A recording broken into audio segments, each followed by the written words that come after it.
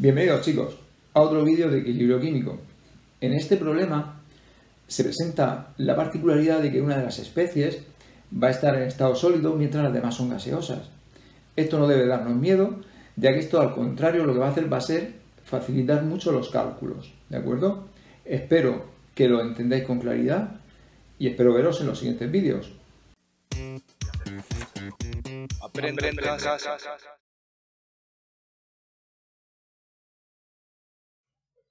Bien, en este problema se nos da el volumen del recipiente, se nos dice la cantidad inicial de reactivo que se introduce, es un sólido, ahora vemos qué importancia tiene esto, se nos dice la temperatura, 284 Kelvin, y se nos dice la presión total en el equilibrio.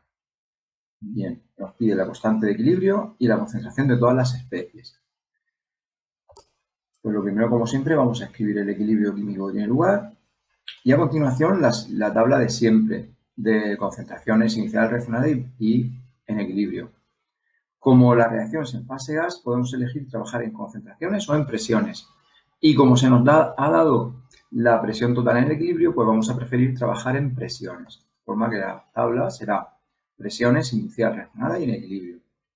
Por otro lado, el reactivo es un sólido y los sólidos ni ocupan un volumen ni ejercen una presión, por tanto no tiene sentido hablar de presiones parciales, igual que tampoco tiene sentido hablar de concentraciones. Inicialmente de, productos no tenemos nada y no conocemos, una vez que se haya alcanzado el equilibrio, cuánta presión, cuánta cantidad de reactivo ha descompuesto.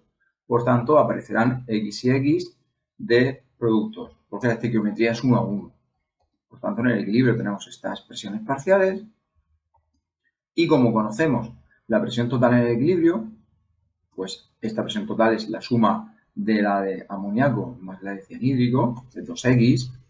Esto es igual a 0,3 que nos han dicho en el enunciado, por tanto la X vale 0,15 atmósferas, que es un dato que ahora después usaremos. Se nos pide la K sub P. La K sub P, su expresión para este equilibrio, es el producto de las concentraciones de, de las presiones parciales, perdón, de amoníaco y de cianhídrico. Si sustituimos la X, que es 0,15, tenemos 0,0225.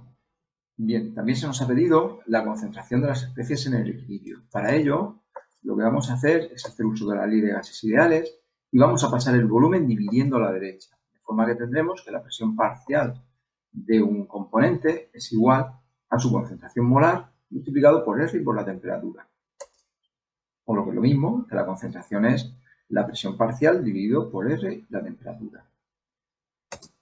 Pues simplemente sustituyendo tenemos que las concentraciones de amoníaco y de cianhídrico son la misma, ya que la presión parcial también era la misma, Sustituyendo tenemos que esto es igual a 6,44 por 10 a la menos 3 molar.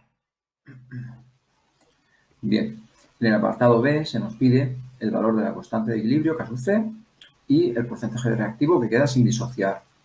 La constante K sub C podemos calcularla usando la expresión que ya conocemos, que relaciona la K sub P con la K sub C, ya que conocemos el valor de K sub P, lo hemos calculado en el apartado A. Sustituyendo tenemos 0,0225 es igual a K sub C por 0,082 por la temperatura, que es 284 Kelvin, y elevado al incremento molar.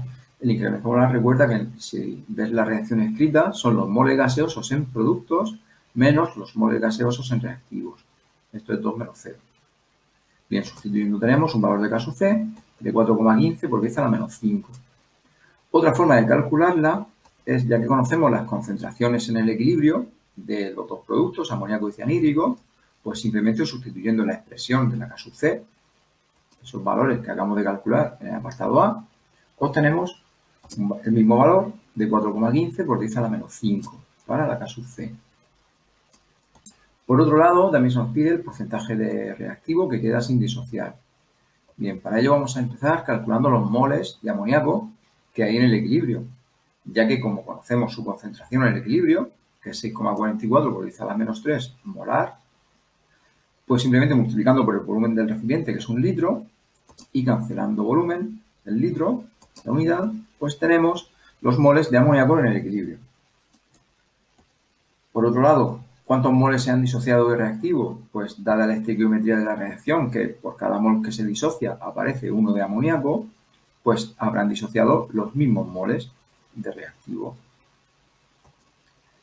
¿Cuántos moles había inicialmente de reactivo? Pues como se nos ha dicho que se ha introducido un gramo, pues simplemente sabes que dividir el gramo, la masa, entre la masa molar del reactivo, que es 44. Cancelando la unidad gramo, obtenemos 0,0227 moles iniciales de reactivo.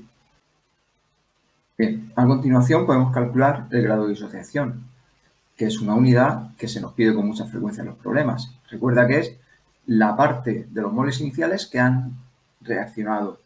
Son los moles reaccionados partido por los moles iniciales. En nuestro caso, sustituyendo, tenemos un valor de un grado de disociación del 28,4%. Pero como lo que se pide es el porcentaje que queda sin disociar, este va a ser lo que falta hasta 100%.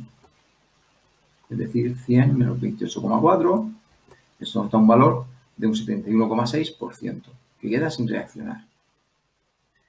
Bien, por último, en el apartado C, se nos pide la composición en el equilibrio si en vez de empezar solamente con reactivo, partimos de reactivo en exceso y también 0,01 moles de amoníaco. Para ello vamos a plantear el equilibrio como siempre y en este caso como lo que se nos ha dado son los moles iniciales de amoníaco, vamos a preferir trabajar en concentraciones. ¿De acuerdo? Realizamos la tabla típica de los equilibrios. Las concentraciones iniciales, ya sabes que de los sólidos no se considera, ponemos una rayita. La concentración inicial de amoníaco ahora no es cero, sino 0,01 moles por litro, porque tenemos un litro de recipiente. Y la de cianhídrico sí es cero. No conocemos qué cantidad ha reaccionado de reactivo, por tanto X y X habrán formado de productos. Y en el equilibrio vamos a tener 0,01 que había de amoníaco más X que han aparecido y de cianhídrico simplemente X. Vale, pues como conocemos la expresión para la gas C, que es la concentración de amoníaco por la de cianhídrico, simplemente sustituyendo las cantidades que hemos visto en la tabla, tenemos 0,01 más x por x igual a 4,15 por 10 a la menos 3. Bien, resolviendo esta ecuación de segundo grado, obtenemos un valor de x de 3,15 por 10 a la menos 3 molar. Bien, cabría la posibilidad de pensar en despreciar la x que hay sumando al 0,01 para así simplificar mucho el cálculo. Si lo haces, obtendrás una x de 4,15 por 10 a la menos 1, es decir, 0,415, que por un lado es imposible, que descomponga más de lo que hay inicialmente de reactivo, y por otro lado, aunque fuese menor, tendría que ser mucho menor para que esa aproximación fuese válida, ¿de acuerdo? En este caso hemos de resolver la ecuación con la formulita que ya sabes, de segundo grado y obtenemos este valor. Bien, pues simplemente para calcular las concentraciones en equilibrio, sustituimos este valor en las concentraciones de ambas especies y con esto finalizamos este problema.